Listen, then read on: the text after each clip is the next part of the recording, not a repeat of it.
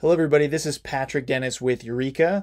Uh, and today I want to take a little bit of time to walk through a demonstration of how Youreka can work with Field Service Lightning. Uh, we've done several of these videos before, which I can link to in the description below, but the one that I want to talk about today is how Youreka can work with Field Service Lightning as it pertains to medical devices. We get a lot of questions from customers and, um, and other people in the Salesforce ecosystem curious about how Youreka might be able to support this this concept of I'm going out to fix a piece of equipment or I have a piece of equipment in a in a medical facility or at a clinic that needs repair. So how might we use Youreka and Field Service Lightning together? That's what we're going to talk about today. So, for those of you really quick who have no idea what Youreka is or, or what we're all about, Youreka is a Salesforce native forms, assessments, inspections, surveys, and audit application.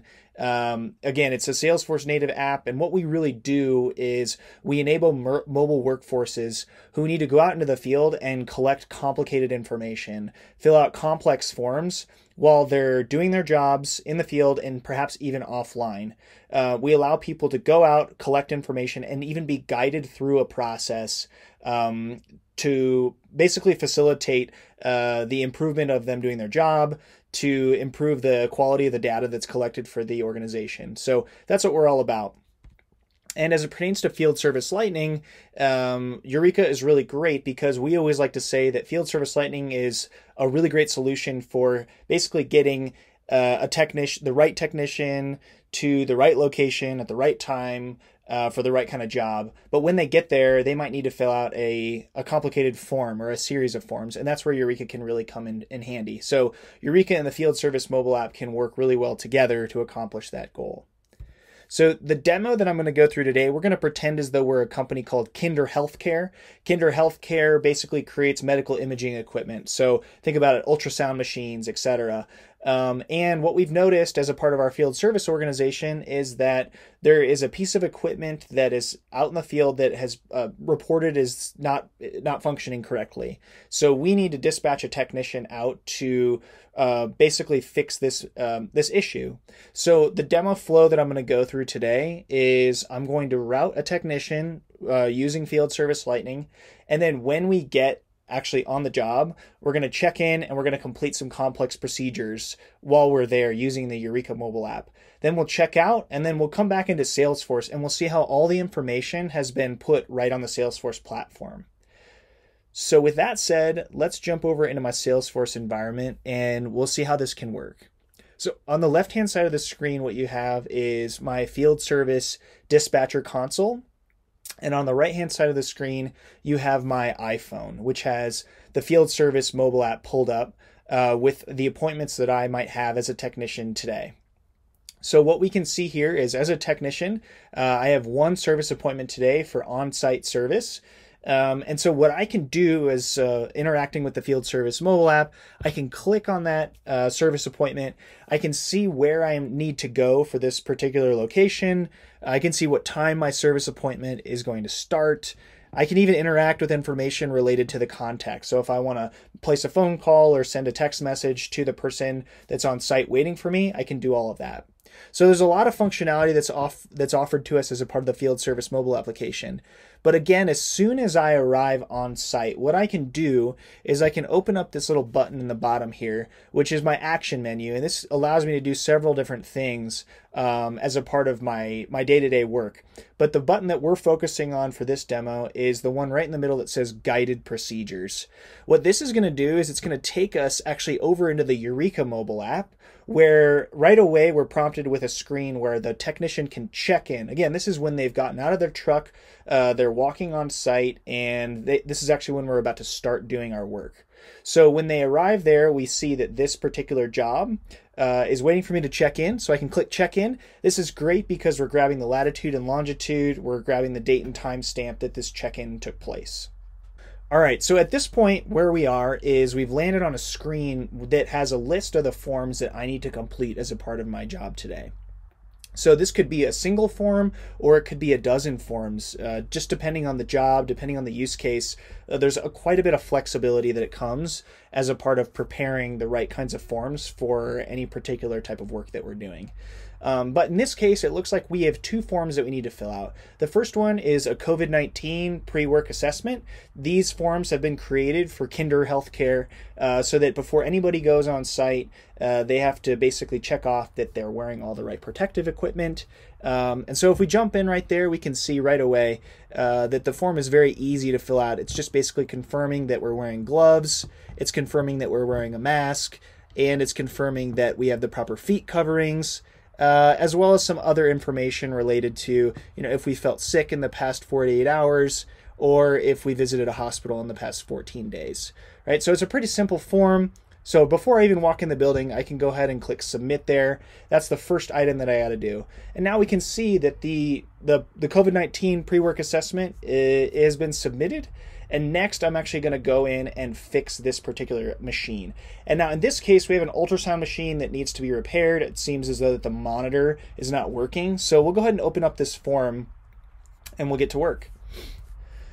The first thing that we'll notice is that these forms uh, are pre-populated. You saw this actually in the previous example as well as right here in front of you. This this field right here on the screen in front of you, this work order subject, that's a field in Salesforce and we're actually pulling in that data into this form here. So if I want to actually change the work order subject or change the work order description, I might be able to say, you know, instead of on-site service, we'll call this uh, ultrasound monitor repair any field that I change here inside of a Youreka form that's linked to a field inside of Salesforce, as soon as I submit this form, all that information is going to get updated back in the system. So it's really handy for us to be able to manipulate data inside the Salesforce environment right here from the Youreka form. If I wanted to enter a work order description, so maybe I wanted to say something like, um, I've arrived on site and we'll start repairing the equipment now, period. There we go. So that's just another way that we could enter some basic information here into this field. Next, we'll indicate the date and time that we actually arrived on site, and we can even see the first and last name of the contact that's going to be waiting for us. Next, we'll get to the point in this in time where we're actually looking at this piece of equipment. So we've arrived at this ultrasound machine, we're inspecting the machine, we're taking a look at it, and now we're going to gather some basic information before we proceed with fixing it. So the first thing is I've got the serial number of the device pre-populated in here, just like we pre-populated data from the work order. Um, but this is coming from the asset. So what I can do is I just maybe need to verify this uh, the device serial number here. So I just have this sample barcode that we'll go ahead and scan here. And as a part of that, it looks like the barcode does match and the serial number has been verified. So we can go ahead and continue on with our work here. That was one example of the conditional display logic that we can set up in Youreka, showing and hiding information based on answers to previous questions. Uh, you'll see much more of that here throughout the demo. Next, we might want to capture some photos of the device uh, before we begin work. In this case, I just have this sample photo of an ultrasound machine here in front of me. So we'll grab a quick photo of that machine before we begin work. And for any photo that's captured in the Youreka mobile application, you can jump in and right away you can kind of mark it up and say, you know what, uh, this is the part that's not working, you know, properly. So we'll point that out here uh, and then we'll move on with our work. If we want to take several photos, we could certainly do that here. You're not restricted to just one, but for the sake of time, we'll just move on. So in this case, we'll say that uh, you know the video test patterns aren't clear. Um, so we'll move on to say uh, another section here. So as you could see there, this is another example of that conditional display logic. Because I answered one question one way, we'll open up a new subsequent question or a whole section with new questions. Um, so we'll say, you know, the standby button is illuminated, uh, the button is orange, uh, but there's not a picture on the monitor. And after checking the cables, there's still not a picture on the monitor. So this is a way, again, you guys, this is not just uh, mobile forms really here. We're talking about guiding the mobile workforce through a process and helping them do their job better. So being able to show them these kinds of questions in the series that we do can really help them ensure that uh, that they're following the proper procedure. So in this case, we'll say, you know, the monitor needs to be replaced. So let's just confirm that we have the parts on hand. So we'll check off that we have these three things, and then we'll proceed on to actually repair the monitor. So now at this step, we're going to go ahead and take off that monitor and we're going to in fact show the people the steps that they need to know in order to do this properly. So again, this is all about mobile workforce enablement, technician guidance. Uh, as opposed to just collecting data. And here you can even see we have a moving image, a GIF that shows you what this looks like. So the first thing we'll do is we'll remove all four screws. Uh, then we'll unplug both the cords on the monitor and we'll indicate that that's complete. And then finally, we'll just take that monitor off um, and we'll mark that that's complete as well. The next piece is when we mount the new monitor, we'll want to make sure that we're configuring the proper electrical. So let's go ahead and plug in those cords. Again, we're showing how that monitor is going to be coming together here. And then finally, we'll just take a temperature of the computing tower just to make sure that it's good. Uh, so here we'll say that it's 160 degrees Fahrenheit after using our thermometer. Uh, and in fact, what we're seeing here is that the computing tower is too hot. Uh, it needs to be less than 150 degrees, so we need to replace that. And so this is what that looks like to have that new fan uh, reassembled. So we can go ahead and on an ad hoc basis, we can replace that cooling fan because we need to. Next, we'll take a photo of our completed work. So what does it look like after the, uh, the machine's all said and done? Uh, and so we can go ahead and take a photo of, uh, of the machine after we're done with this and we'll mark it up. Same. Indicate that we're complete here. Indicate the date and time that the service was restored. And then say all is well. The monitor is now working. We'll say that it's now working here. And then finally we'll just get some customer feedback. So we'll type in James's name here and will indicate whether or not he was satisfied, very satisfied, or not satisfied at all. Um, and he'll say, the service appointment went really well, period. I'm very happy. Grab a quick signature and finish things up here. Finally, we have our work order line items, which we want to disposition. So we'll jump into the first work order line item there. We successfully completed replacing the monitor, and we also successfully completed collecting the old monitor for disposal. So both of those items are now done and we can click submit. Now what this is going to do is if we're online, it's going to submit all that data back to Salesforce, uh, updating all the records and saving all the information in the system. Um, if we're offline, it's just going to store all this data locally um, where we uh, it'll it'll just sit on our device until we reestablish connectivity, and then only then will uh, will the information then be synced back to Salesforce. So at this point, I can check out and then jump right back over to my field service application uh, and finish on with my day, perhaps re- restatusing this appointment um, and then moving on to the next service appointment that I might have to be working on. So as I jump back over into Salesforce, what we'll notice here is if I visit that work order record that we were working on and I refresh my page, what we'll see here is that the data has now been updated in the system. So the first thing I'd draw your attention to is that the fields that we updated while we were using the Youreka mobile app are now changed here on the work order. And the same is true with the work order line items over to the right, where the statuses have changed from not started and now they're completed. But if we want to actually look at the full set of forms that were completed, there's a related list on the work order as well that we can reference. So we can see both our COVID-19 assessment is here on the form, or uh, here on the work order, as well as our ultrasound monitor repair. And if we click into either of these records, what we'll notice is that the entire form as it was completed on the mobile application is now visible here inside of Salesforce. So all the data points that were collected, uh, all the photos that were gathered, so we can pull up those images here and very easily view those. So every data point that we gathered from the mobile app is now here inside of Salesforce.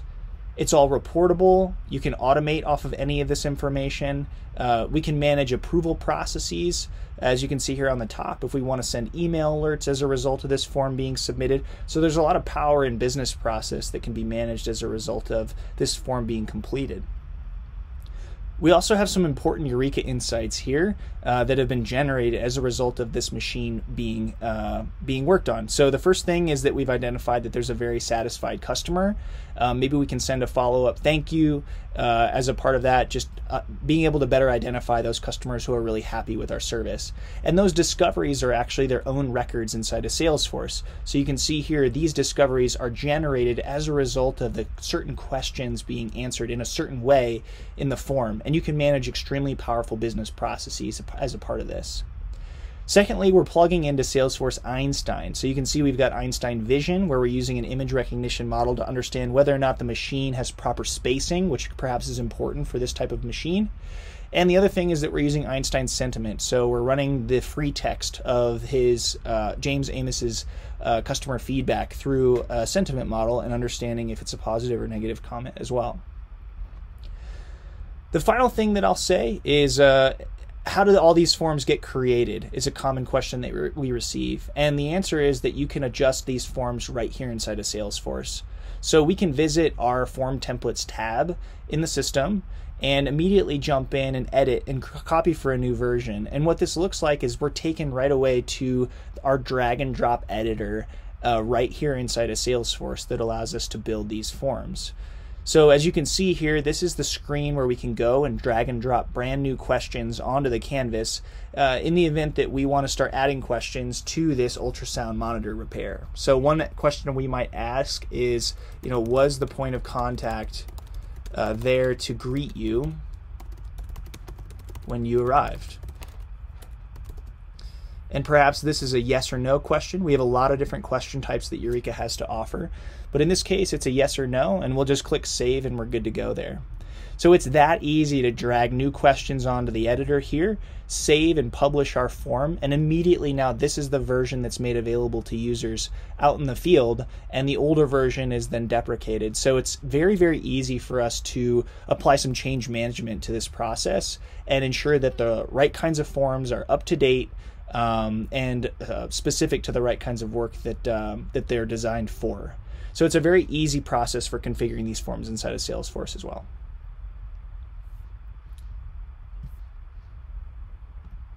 So that's all for today. That's what it looks like to use Field Service Lightning and Youreka together um, when it comes to the specific use case of servicing medical devices, medical equipment in the field.